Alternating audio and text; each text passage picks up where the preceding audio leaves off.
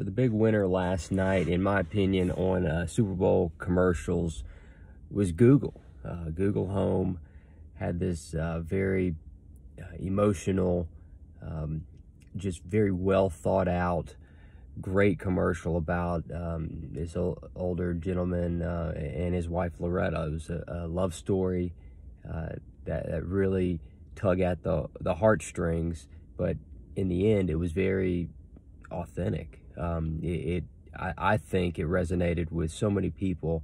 Um, I watched it twice. Um, the first time I, I watched it, had the tear creep up, and then the second time I pulled it up, um, coincidentally on on Google, uh, so I could show my wife. And both times, I mean, I was choked up.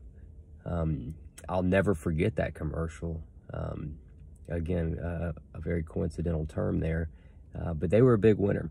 Not too many funny commercials that I, I noticed or saw, but that one will stand out. Um, I have a feeling a lot of people went to uh, went to their Google Homes and said, "Hey Google, remember uh, the Chiefs? Patrick Patrick Mahomes came back from ten down to win the Super Bowl, uh, and it'll it'll it'll archive that, it'll chronicle that, and just um, really cool. I know Gary Vaynerchuk did a few ads, and, and there was uh, Mountain Dew or, or um, the Peanut Man and, and all that sort of stuff. Tried to uh, catch uh, virality, but I just I, I think the Google one really took the cake, at least for me. Um, and so let me know your thoughts.